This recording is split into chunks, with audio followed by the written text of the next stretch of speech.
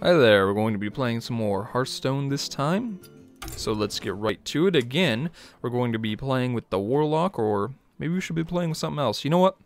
For now, I'm going to stick with Warlock because I quite like it. Let's do that. Yes. Find us a worthy opponent. Decks can contain two copies of each card, but only one copy of a legendary card. Why, thank you, game. Saving the world. Sometimes it does, however, take quite a while. Not any longer, really, than Duel of Champions, however. So that's good. Shaman, or Shaman, or other ways of pronouncing it. Okay. I really don't need this Stormwind. Oh, I. That's a little bit of, a little bit of pop filter stuff that didn't get caught. Uh, yeah, I really don't need the Stormwind champion there. Nor do I really need that for the moment. well, I'll just end, I suppose. Hoping for some lower cost stuff. Come on. Yeah. Well, that's uh, that's good. Okay, then I can just summon this out. I'm feeling pretty good about that. Yeah. I like playing that uh, with the coin. It's a really nice uh, turn one play, so I'm really happy that he couldn't play anything as well. Gave me a chance to uh, to get that out as if I had done so. you came back to me. Okay, well, well, okay. I'm just gonna play this to get out some additional damage. It's basically, it's very much like, uh, it's kind of like playing in Duel of Champions an honor creature. Really, I think of things like Raid Leader as not not a not really a creature, a minion in its own right, but I think of it in terms when I use it as more of a a buff, and it's like a buff totem that just so happens to be able to attack. Uh, so it is a buff first and foremost, and a minion second. So yeah, it's good. I quite like it and it's really great for uh, something like this, some, this sort of deck where I prefer to get out Murlocs early on for that extra damage and for that swarm. Right now we have some stuff that I really can't deal with too easily, so I'm just going to summon out some additional creatures, like so. Keep that swarm going, give him loads of targets, and then completely ignore him and let him kill my creatures himself. No reason for me to be wasting my turns killing uh, killing off his creatures when he can do that for me, right? Yeah. Or he could just go right after me, and that would be a reasonable thing to do. I mean, he has five damage on uh, on the field, and so do I. Mine is just a little bit more spaced out, and uh, it's easier to kill with um, AOE, but less easy to kill with single target stuff, obviously.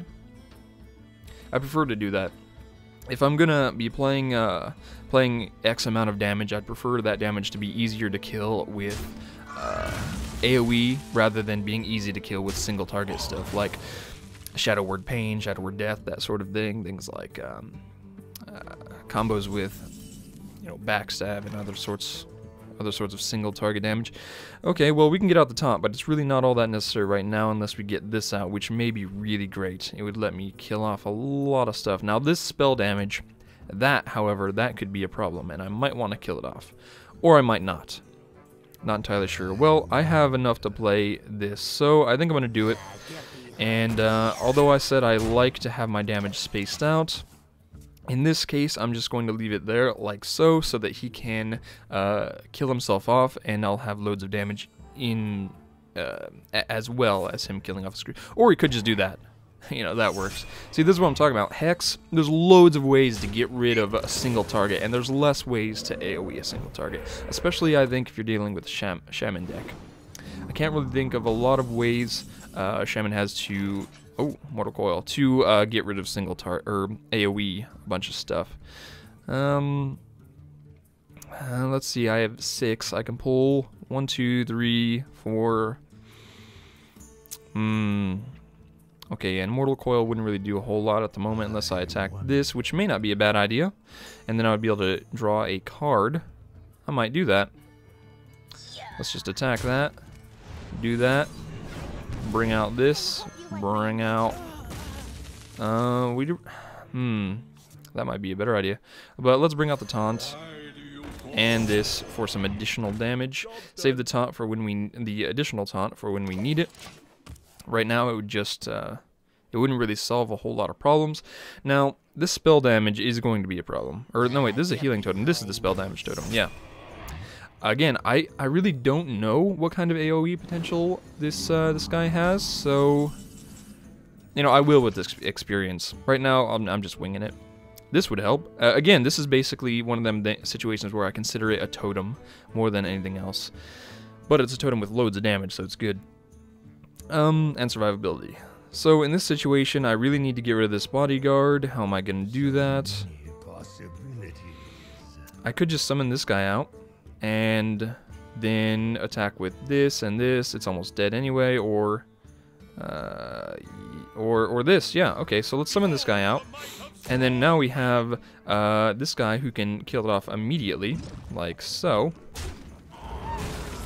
And uh, then we can just attack straight through. It may not be... Oh, god damn it, I accidentally clicked that. You know what? that may be for the best. That may have saved my, they may have saved my ass, but uh, I still misclicked.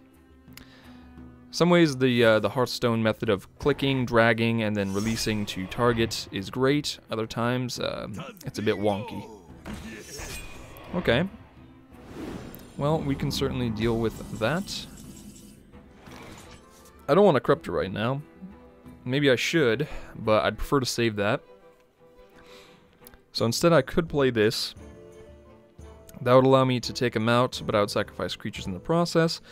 Would it be such a bad idea? Not really. How do you like another one of these, huh? That's good. It's good.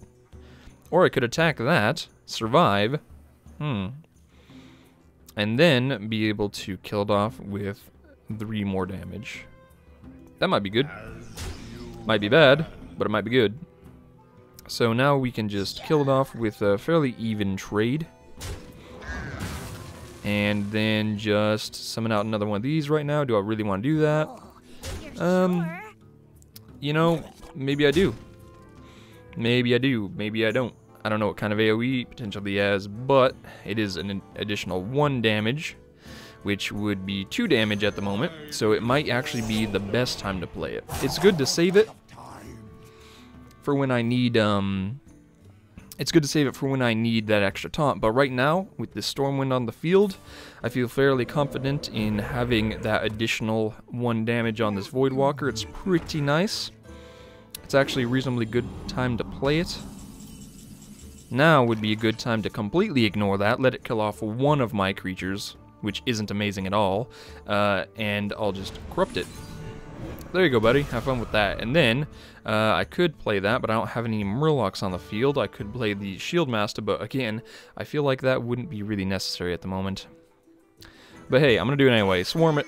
Swarm! Do I want to save the space? I might want to save the space. N you know what? Nope. We're just playing it. We're just playing it. I don't even care. And then I'm just going to... I don't have any buffs, so I'm going to worried. You know what? I'm gonna life tap. Screw it. Life tapping. That would have been... No, no, that wouldn't have actually been better in this situation. Okay, just, just gonna break him down. Yup. And that is most likely going to be the end here. The one creature he can do a lot of damage with is dying uh, next turn or at the start of my turn. So, yeah, I don't think he can really do a whole lot. Yeah, you can take care of two of my creatures, but really, any of my creatures on the field can kill him. I have so much taunt that he has to get through to get get um, get at my Stormwind champion that most of the stuff I have can take him out. Yup.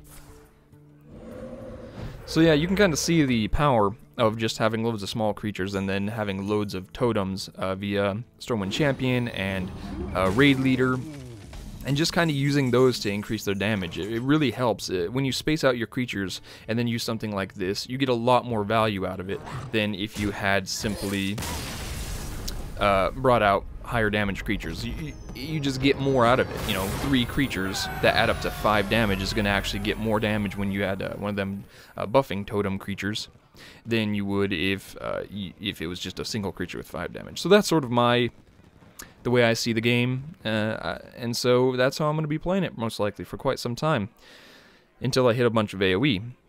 So yeah, now I've act- uh, I have Sacrificial Pact, which is not going to be remotely useful to me at the moment, but uh, there you go, unlocking them basic cards. Good stuff. And I will see you next time.